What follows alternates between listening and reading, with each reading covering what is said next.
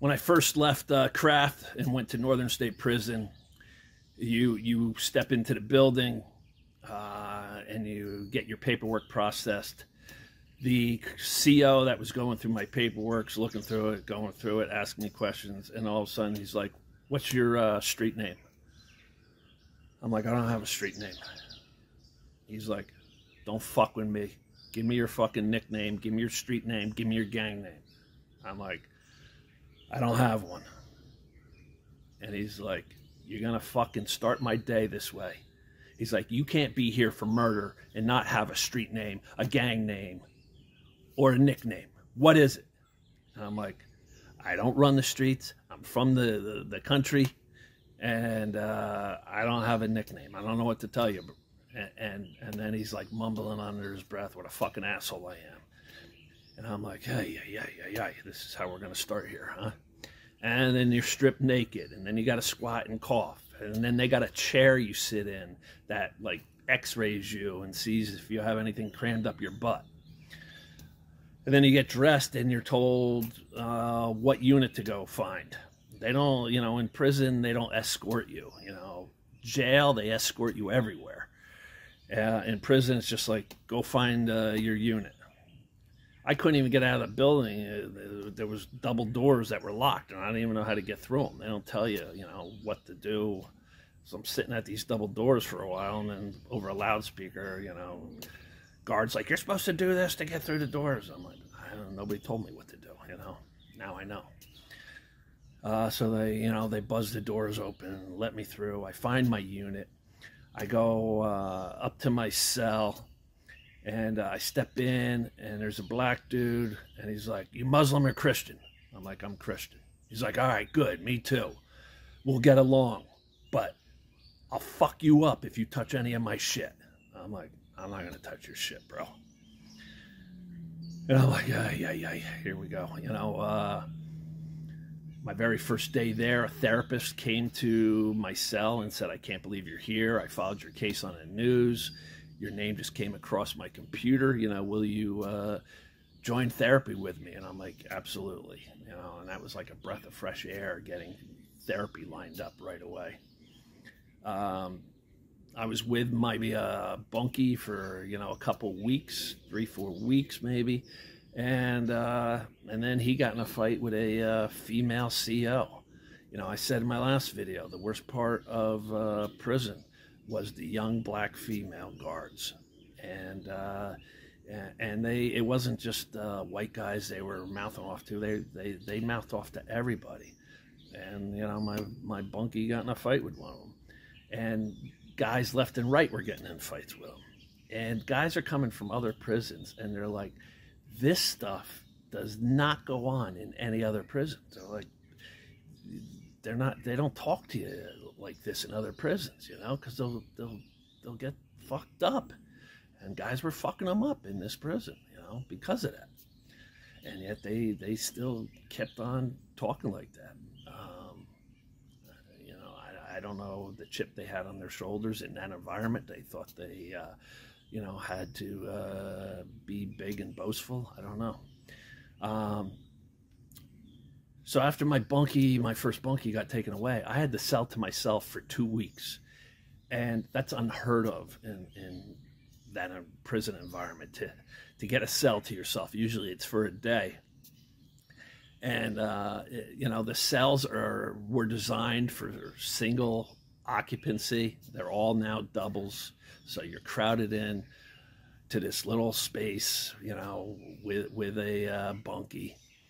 And guys that were doing long stretches, 10, 20, 30 plus years, started to cop a big attitude towards me because I had to cell to myself. Like I have anything to do at all with getting to the cell to myself. But all of a sudden it became a racial thing and it became ah, what the hell's white boy special gets to cell to himself? This is fucking bullshit. This is fucking bullshit. And I'm hearing this from one black dude after another who's doing a long stretch. I'm like, I don't control the, who who comes to the cell or not. That's the guards. Yeah, oh, oh, what are you here for? What do you do? What makes you so special? I don't know what to tell you, bro.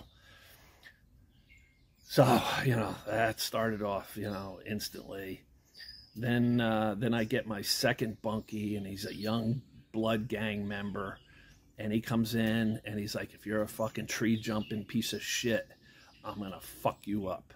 You know, tree jumpers are pedophiles. He's like, 50 year old guys, white guys in prison are normally tree jumpers. I had my news article with me and my paperwork, and I showed him. I'm like, I'm not a tree jumper, dude. I'm I'm the complete opposite. And then he was all right. He was a code red risk, which is a suicide risk. He was off the charts. He was getting psychoactive drugs. He, he was making cocktails with his drugs and Mucinex, and uh, he's like, "Ah, oh, you know, share this drink with me. It'll get you all fucked up." I'm like, "Nah, I'm good, bro. You know, I'm not getting fucked up." So I was in that cell for for a short while with him, and then uh, another dude down the hall uh, had an opening, and this dude seemed like a, a, good dude. So we put in, you know, to have me move down to that cell, and uh, and I got in with him. You know, uh, the guards approved it, and you know, a week later, uh, I moved in with him. Um, and uh, I was with him for for a while, and uh, he was Mister Handyman Fix It for the whole prison. He would get called out in the middle of the night to go fix a boiler or uh, AC unit or whatever it was. He and a bunch of guys put together the trailers that they brought in uh, for housing and for classrooms. They brought in these mobile trailers and they all had to be, you know, outfitted. And, and this guy did it with a bunch of other dudes. He, you know, he was uh, jack of all trades, and the prison uses guys, you know, to do this stuff. But he got extra privileges, extra food. He was out of his cell a lot and guys get pissed if they see somebody else getting one extra thing than them. And uh, somebody ended up dropping a slip on him that he was going to break out. In the middle of the night, they sent a goon squad into our cell and stripped us both naked, put us out in the day room floor, and then tore our cell apart. Literally tore everything out, squirting the ketchup bottles out uh, you name it, just ripping stuff apart. I had started writing my manuscript. I had, you know, notebooks with writings in it, and uh, they just threw everything out. And then they came and took him away in handcuffs, and uh, he got sent to a complete another prison. They wouldn't even keep him in Northern State. And then they send me back into this cell to clean everything up and uh, to organize his stuff and take it down to the front desk.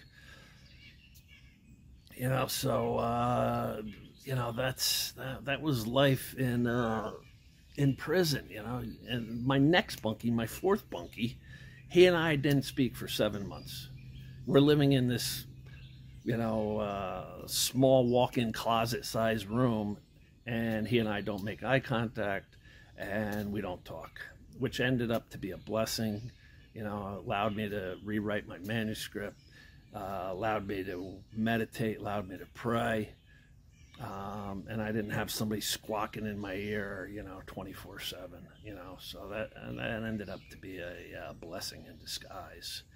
Uh, I'll go into more uh, life in prison stories. You know, it's it's complete crap. It's complete hell. It's no way to live. Uh, it, it's it's just it, it's a shit show. You know, plain and simple and uh, you know, you don't want to be there. You know, uh,